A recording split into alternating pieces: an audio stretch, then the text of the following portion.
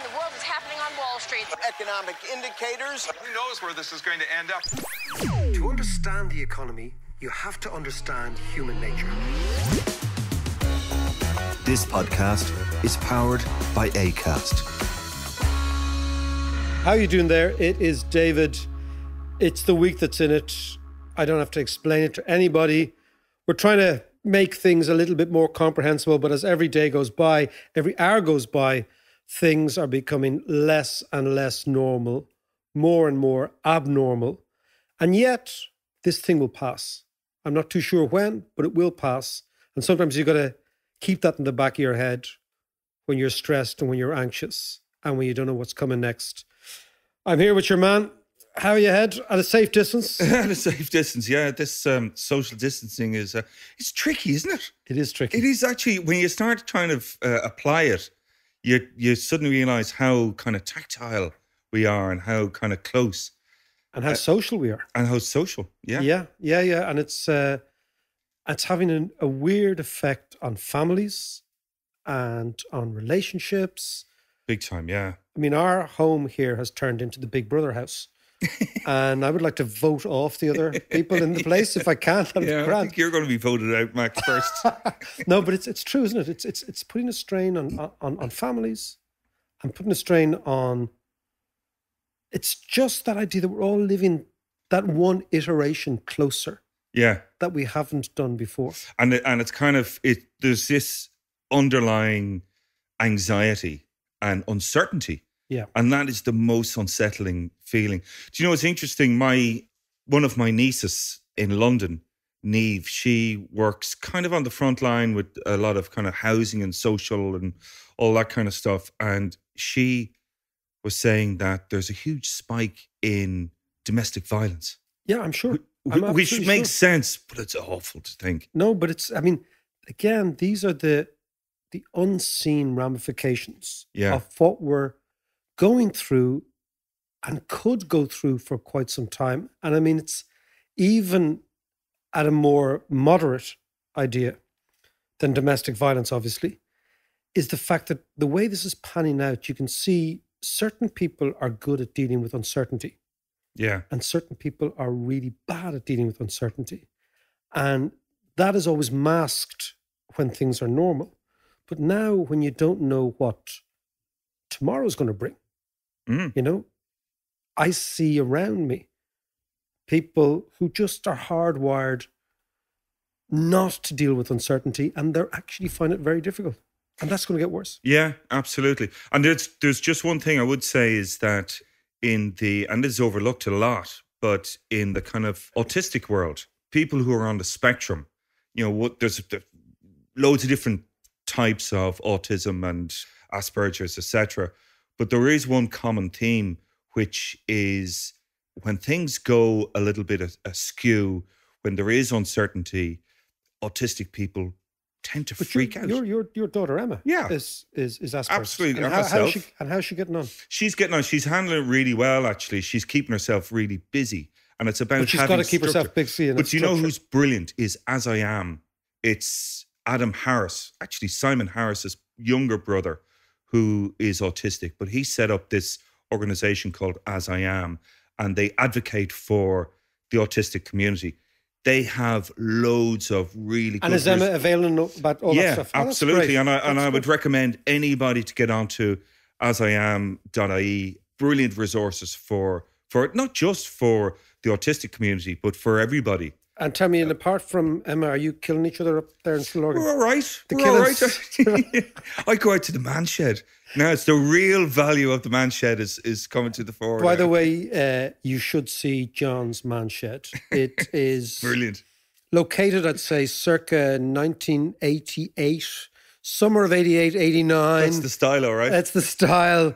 It's very mullety. If you have a mullet, you'll feel very at home there. Uh, you know what he does there. He turns on the tunes, puts the headphones in, and he's off for the day. Anyway, let's talk about economics. So, Mac, let's get into what's going on and what it means economically and for you know for day to day business. There's loads of people being laid off. You you gave me a figure the other day. yeah, I mean, it looks as if we haven't got the figures absolutely accurately, but it looks as if about 200,000 people in Ireland have been laid off this week. Now, that is phenomenal. So, What is that? That's ten that's about 10% of the working population. yeah. It looks as if Ireland is laying off people quicker than anywhere else. Now, that is a big problem. Uh, and that's to do with the fact that about half of all Irish people work in companies, or are called micro companies, Mm. which have less than 50 employees, right?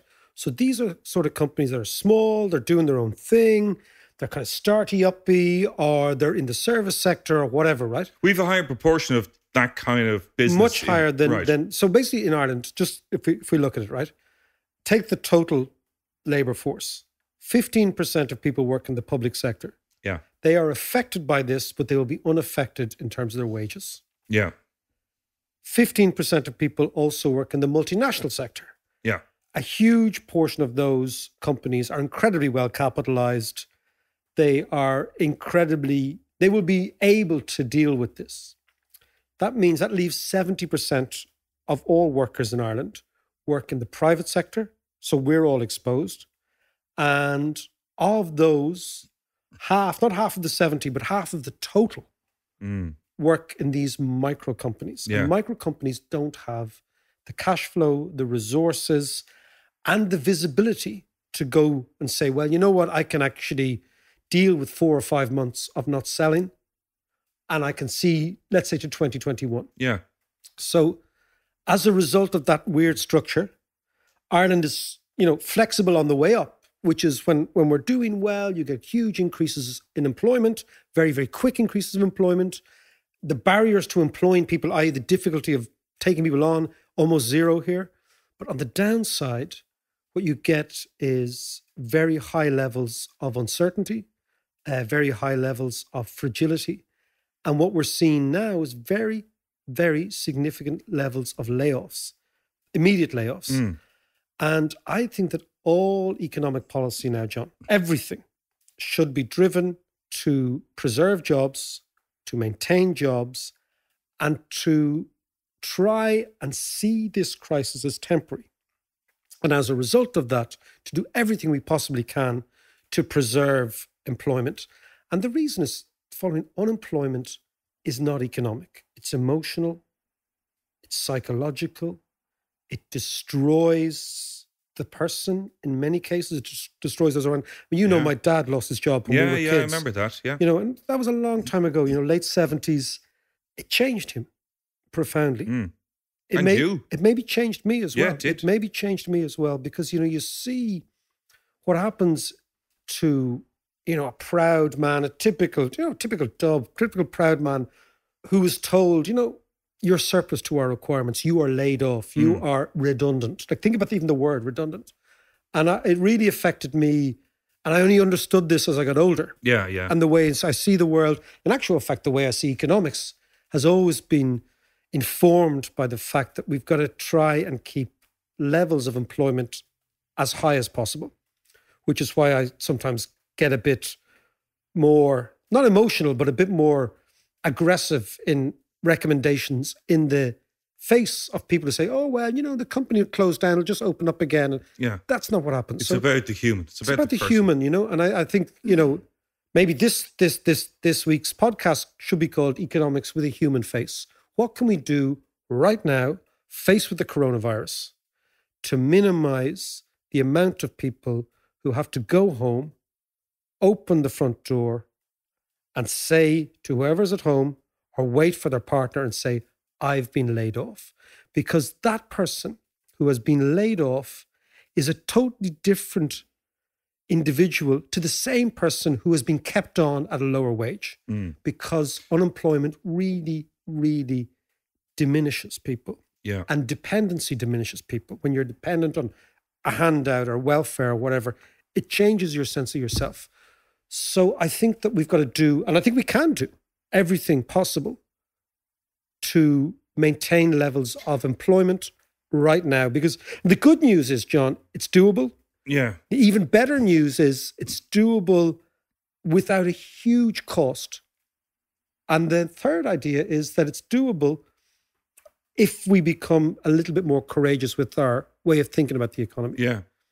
But okay, let's go. I'm going to ask you about that in a second. But the big problem at the moment is we don't know. It's it's a timing problem. Yeah. We don't know how long this is going to go on for. If we knew this is two months, great, done and dusted. We'll swallow it for two months. We'll get on with it, and in two months it'll all be fine. We simply don't know that. We don't know.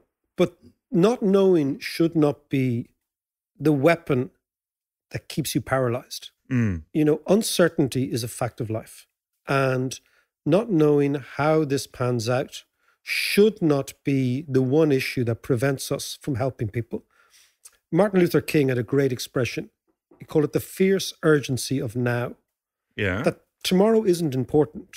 The next day isn't important. Now is important. And all economic policy, in the same way as all health policy now, is being driven to try and minimize the future impact on ICU, i.e., so our behavior today changes what happens in the future. All economic policy should be driven at today, not how much it's going to cost tomorrow and how much it's going to cost in the future, but actually what can we do today to minimize this enormous anxiety that people are feeling. Mm. And I look at it, you know, a wee bit like hibernation. Like the economy's gone into hibernation. yeah. Now imagine that, right? Do you remember when you were in school, you learned, right? And the little, the bear took up all the nuts and got, their, got all their supply together and then went to sleep, right? And that's what we're doing now. And that demands a suspension of capitalism. This is a big, big idea that capitalism has now been suspended all around the world. And the state needs to understand that it has to come in with all its firepower, and it can be done. Not worry about the cost, because the cost tomorrow will be much less than the cost today if we do nothing. Okay, so we're taking a particular approach here in Ireland. Number one, are we taking the right approach? And, you know, is there something we can learn from elsewhere?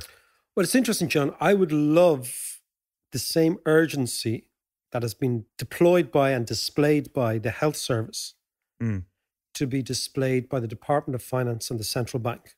So basically, you have the health service, which looks after the health of the nation, and you have the Department of Finance and the central bank, which actually looks after the economy of the nation. Yeah. I think both of those have been a little bit slow. I'm not going to criticize people because we're all in the same boat, but I'm saying there's more we can do. So, for example, last week we spoke about this idea of helicopter money, Yeah. and I want to come back to it because this is part of the solution. This week, the European Central Bank unveiled its massive, they call it bazooka, which was seven. I know. You ever unveiled your bazooka, man? Anyway, I hear. I hear. I know. It's funny. I'm getting all smutty as well. We're all, we're all locked up But in the see, house. actually, a little aside, you know, we talk about domestic violence. The flip side of that is in around Christmas, there's going to be a huge baby boom. There's going to be a massive baby boom, a massive, massive baby boom. Listen, I've got, I've got, I've got to come up with a cliche already. I'll have the book written before Christmas. But Go on, sorry.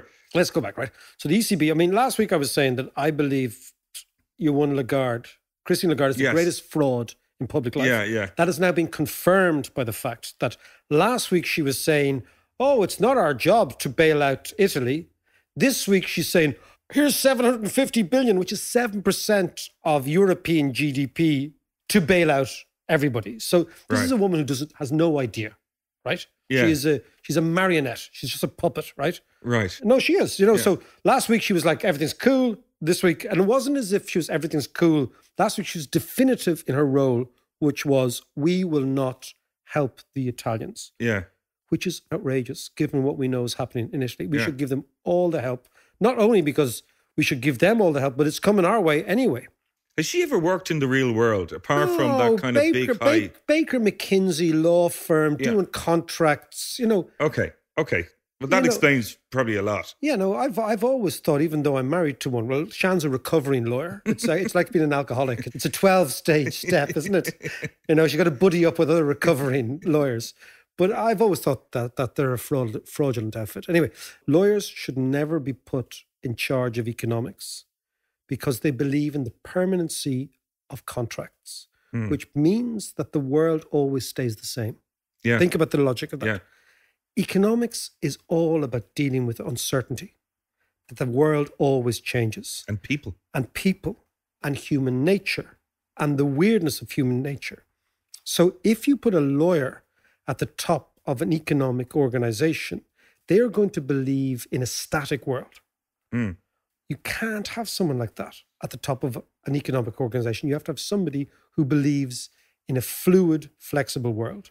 That's why somebody like that is kind of a fraud because they must know in themselves that they don't understand what they're talking about, but yet they put themselves forward for the job. Yeah. But anyway, enough of that. That's for another day. Okay. Okay. So the ECB said, we are now going to reveal our bazooka. We are going to make available 750 billion euros of what they call QE. Now, most people think, what is this QE, right? Yeah. So what QE is, like park the word QE, right? What happens is the central bank works what's called monetary policy through the banking system. So the central bank lends money to the banks and the banks lend money to us. Mm. Now, what happens in a situation like this is the banks are paralyzed because number one, they still have a lot of bad debt on their books. Yeah. And number two, they've nobody who wants to borrow. So the central bank says, we will give you all this money and you please lend this out. But if you think about this, if you got the image of, and this is the image I see all the time, of a big hose, and it's like, we're going to hose all this money against the coronavirus, Right. against the thing, Yeah. right? But the problem is, imagine it was a garden hose, right? It's not as if the money comes straight gushing out, because I think what we need to do is we need to get the money into people's pockets and businesses' pockets to stop the downturn. Yeah. That's the key. QE doesn't get money into businesses' pockets. It doesn't put money into people's pockets. What it does is say the money is there if you want to borrow. But nobody wants to borrow now because everyone's traumatized. Of course. Yeah. Yeah. And With, if you especially with all the uncertainty. yeah, and if you want to borrow, it has to go through the banks and the bank credit committee and some little geezer who's worried about your default and blah blah blah. So what was originally a hose ends up being a trickle into the real Yeah. economy. Yeah. So my idea, not just mine, many other economists' idea, is take all that money that the ECB hmm. promises and just deposit it directly into people's accounts, which goes quickly, it's real, you avoid the banking system. Yeah. And what you do is you assuage people's fear. And I come back to this idea. The biggest fear in the small company, remember the idea we're saying half Irish people are employed in these micro companies, Mm. is that you will run out of money. That you, let's say you're a cafe, you close Yeah, down, yeah. you've seven employees or 10 employees, you close down, your revenue stops. You have no revenue with which to pay your people. Hmm. So you've no choice but to lay those people Yeah. off, right? What I'm saying is if we deposited 10 grand, five grand, whatever it happens to be, into the accounts of that cafe, they would think twice about laying people off because they wouldn't have to lay people off. Yeah. Now, the people who supply that cafe with coffee, for example, who supply the coffee and then wait for payment a month later, who are now panicking that they're not going to get paid, Yeah. if they know that the cafe has money because the government has injected money into the cafe's accounts, they will say, okay, that's grand. We're still on those two or three month terms of credit. Yeah, that's fine. You guys have money. What happens in a crisis is you don't actually run out of money, you run out of time. What do you mean by that exactly? But what I mean by that is like, so for example, if in normal times I'm your supplier, right? Mhm. Take the, the coffee shop idea Yeah, again, right? yeah. I give you coffee beans. You say, that's great. I'm going to pay you in three months' time. You say, that's grand. Okay, everything's fine. You write the contract. The minute you have a credit crunch or a shock to the economy, you then say, "Mm, I'd like that money now yeah. right? Yeah. So all time horizons contract. So a contract that was three months Gotcha. suddenly Okay. becomes one day.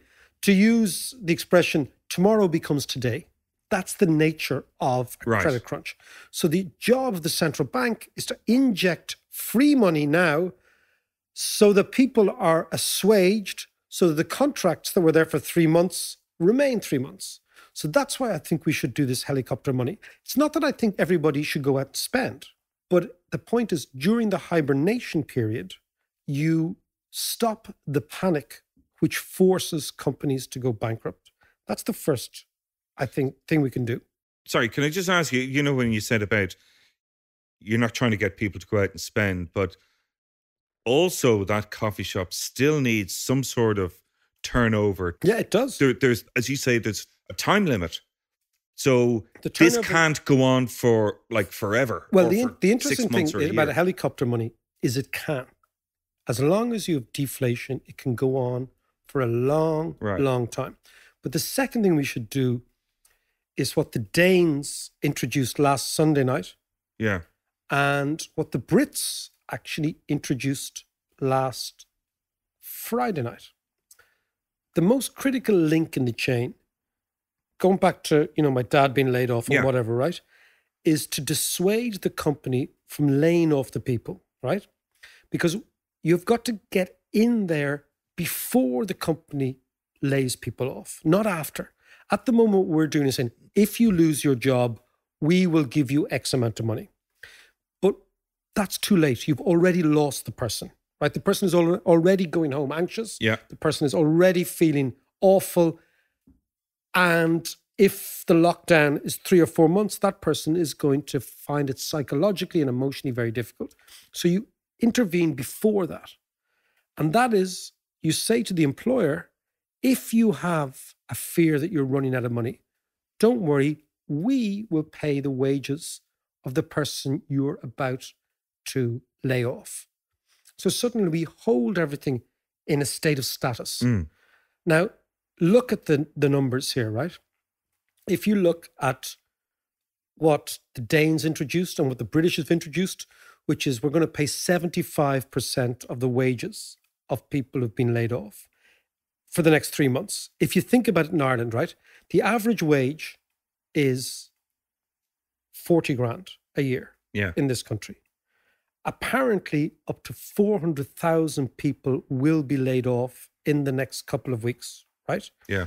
So you multiply 400,000 by 40 to give you the total quantum. That's Hmm. 16 billion, which would cost for a year for the state to pay the wages of these people. Okay. Right? But it's not going to be 16 billion.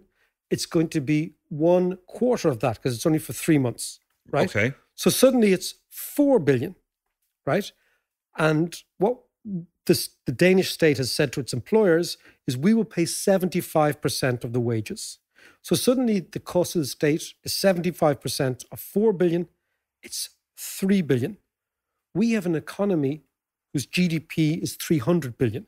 So it's 1% of GDP to assuage all these fears. Okay. It's so small. Yeah.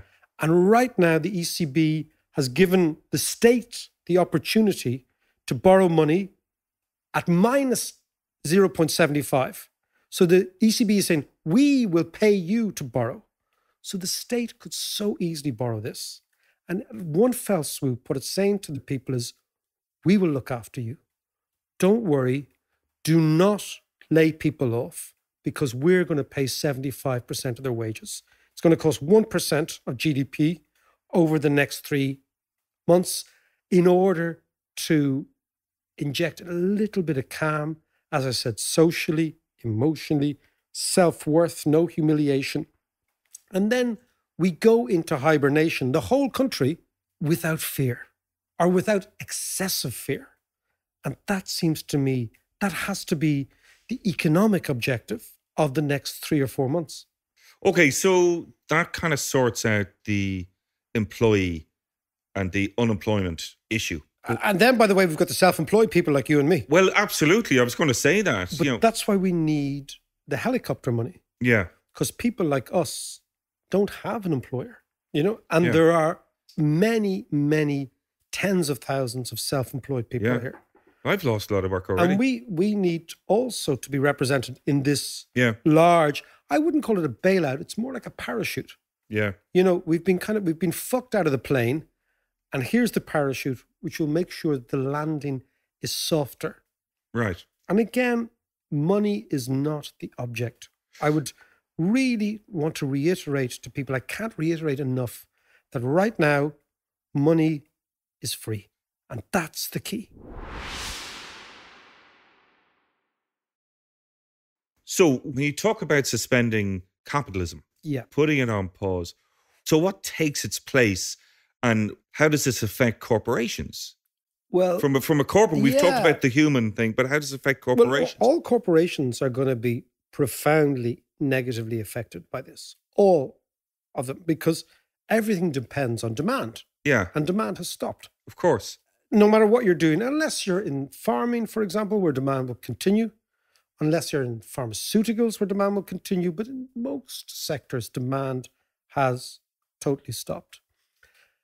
But there now comes a contrast between what went before, when corporations were bailed out, and what has to be now, where the average Joe is bailed out. Mm. I think we're looking at a profound change in the way the world works. And it ain't going to go back to the way it was before. It's not going to go back to chief executives earning 100, to 300 times the wages of employees. Right now, if a corporation comes to the state and that corporation is bust, like let's say an airline, Mm. I think what the state should say, well, okay, no dividends to shareholders, full stop, right? It's not a shareholder capital system anymore. Yeah. It's a state capital system, Yeah. right? You're gone. Chief executives, you can't pay yourself bonuses. No, stop, right? We're looking after your employees. We're actually looking, we're paying the Yeah. bill for your employees, right? You have got to back off and be much more socially observant, much more in, understand that the company is not just an entity which maximizes how, profit. how are they going to kind of reinforce uh, that? It's very simple. You say you want a bailout. Here's the term, terms and conditions apply. It's interesting because there's all sorts of stories. I don't know what's true and what's not true or what's exaggeration or not. But the one story I did hear was EasyJet were looking for a bailout while they're paying their their shareholders huge dividends. Should be told to fuck off. Well, yeah. Simply, you know, look, I mean, is it a time for you know we bailed out? We personally bailed out the banks here, I'm, I'm and uh, is it is it time and is it reasonable for us to say, banks, it's time to, for you to bail us out? Absolutely. But the problem is you can never depend on banks. This is what I come back to. Remember this idea that if you want QE to operate via the banking system, nothing will be done, Yeah, right? Yeah. In actual fact, I think the banking system is over. I think in 10 years' time, the banks that we think, that notion of banks, I think it's all gone. Right? But that's a different that's a different yeah. Is that is that is that uh, Bitcoin coming into its no, own? it's then? no, it's just that people will realize if central banks inject money into people's accounts, which they will in the end, Yeah, people will realize, man, we don't need this middleman. We don't need, you know, these guys driving around in BMWs, yeah. the credit committee of some bank. We don't need them, right?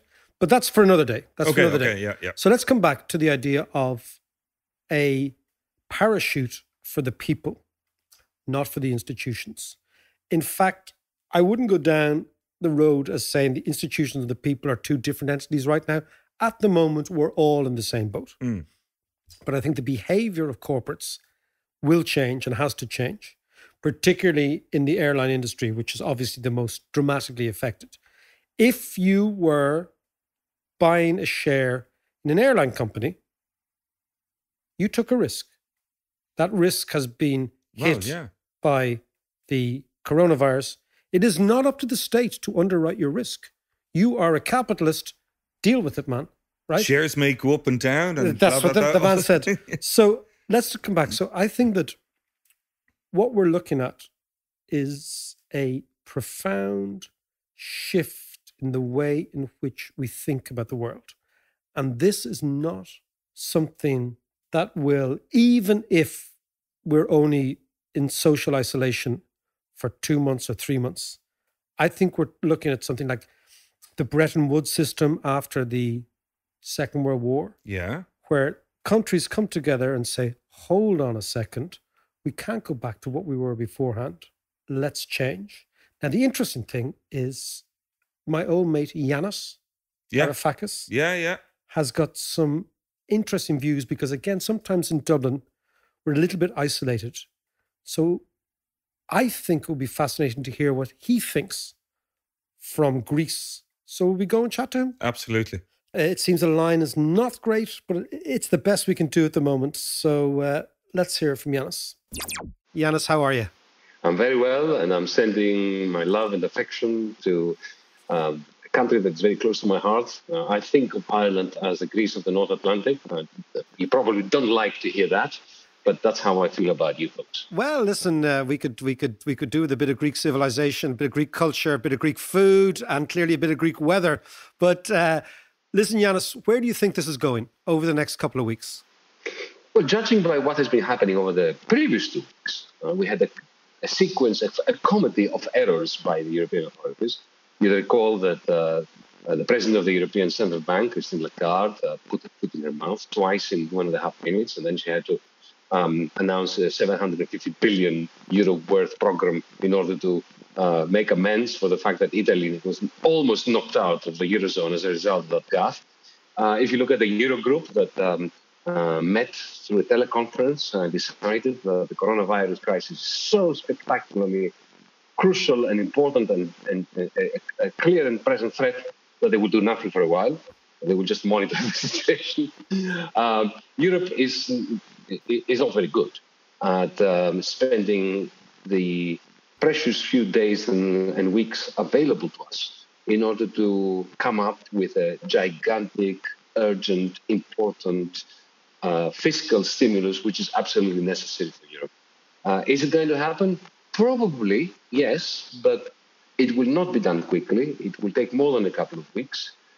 Uh, it will, they, they, will kick and scream along the way. And in the meantime, just like in the case of the um, uh, the, the, the, health uh, aspects of this epidemic, uh, when you need a very quick and fast and furious and effective immediate attack against the, the spread of the disease, we needed some, such a large fiscal stimulus right from the beginning. We didn't get it. So we're going to have um, a, a greater collapse in GDP across Europe than we could have gotten away with. But I think eventually the European Central Bank will have to monetize debts. Uh, they will have to do some kind of helicopter money.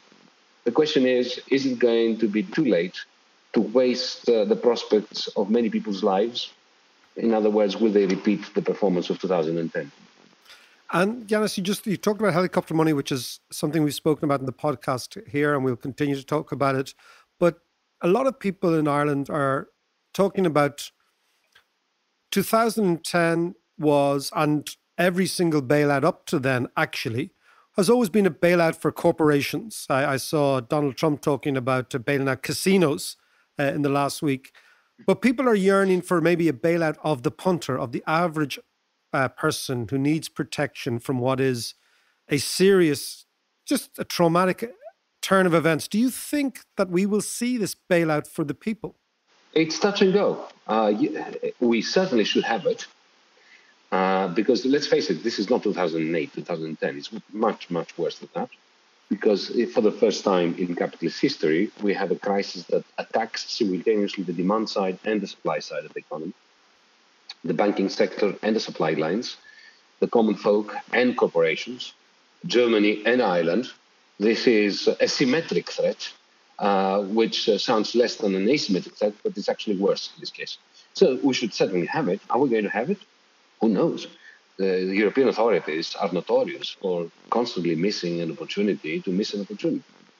And tell me about Italy. Again, DM, your your your new movement has has a branch in Italy. You know Italy very very well. How, what is the long term? I'm talking about long term. Like I'm talking long term is a couple of weeks and a couple of months in, the, in these days.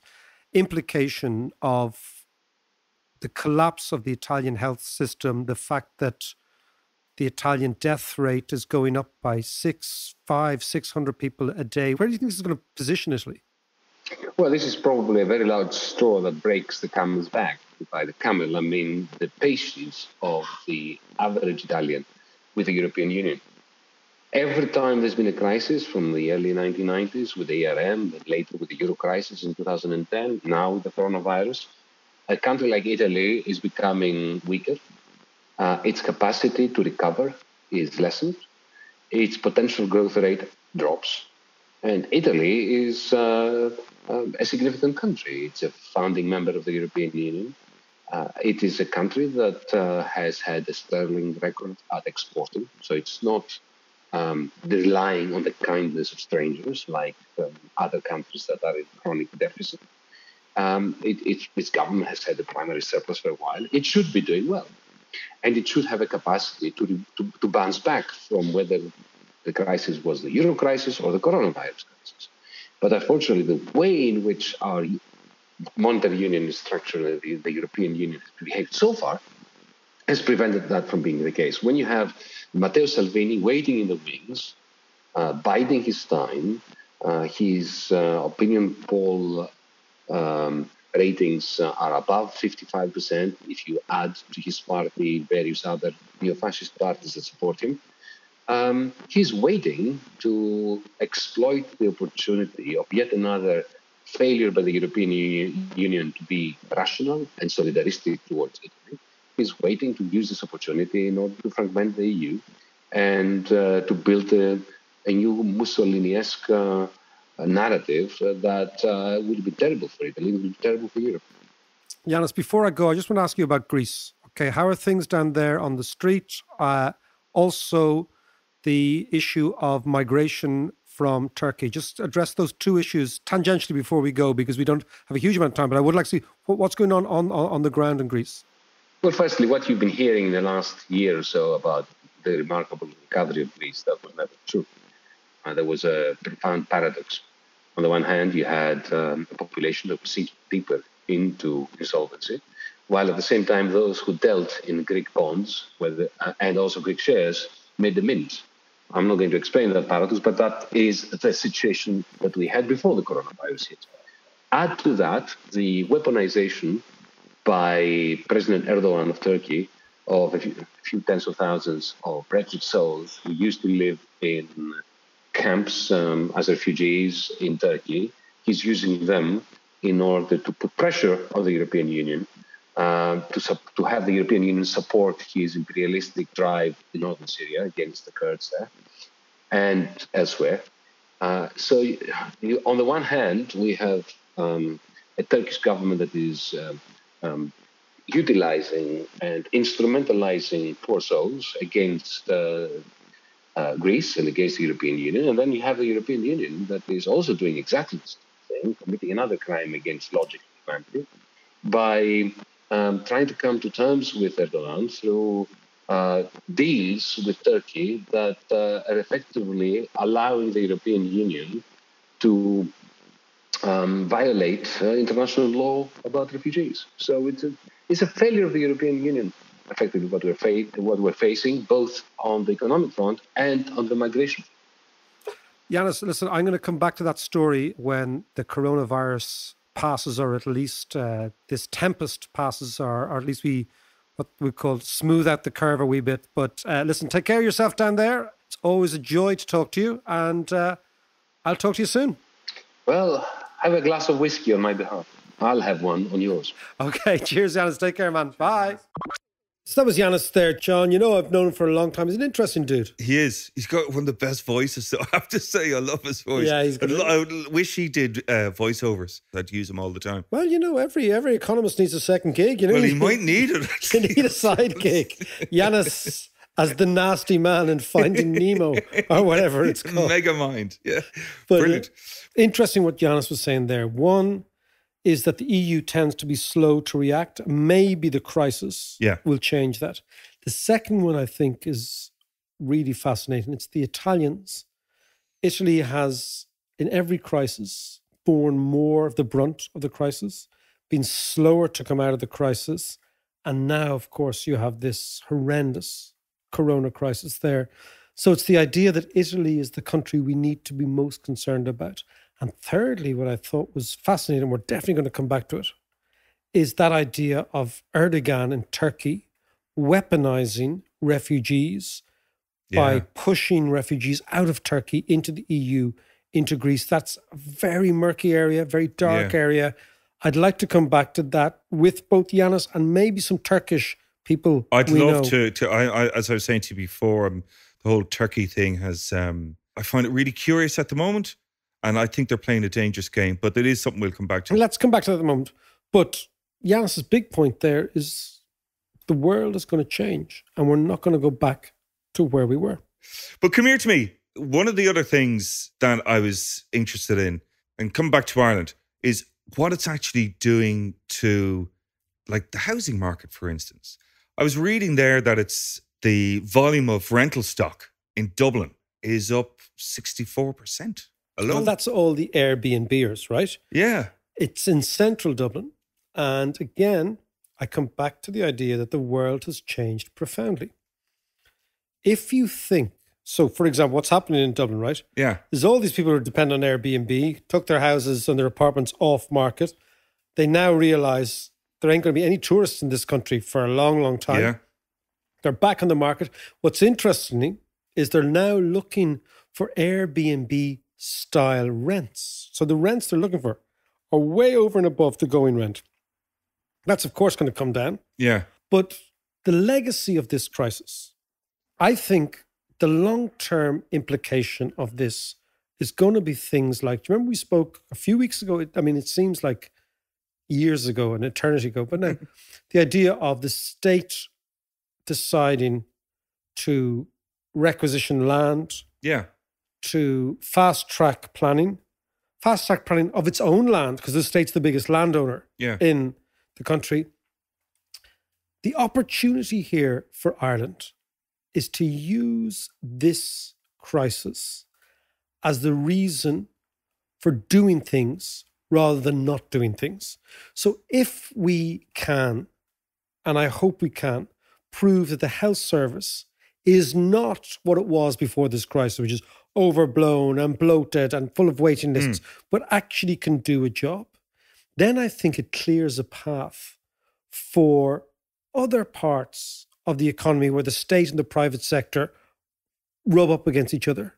For example, the housing market to do something really brilliant. Yeah. So the Airbnb thing on Daft shows that the people who were running Airbnbs depend on the community. Because what is happening now, they're back putting their flats on the community market.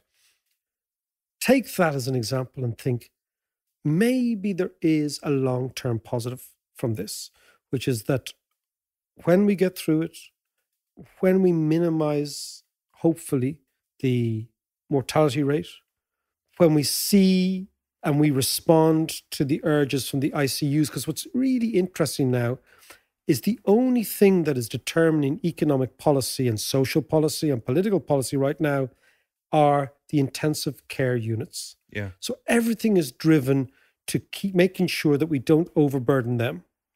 If that works, and if we can bring the mortality rate down lower than China, lower than in well, hopefully lower than Italy, Yeah. then I think people will stop and take stock and say, hold on, there is a sweet spot between state intervention and the private sector. We went far too much in the private sector's bias for the last 10 years.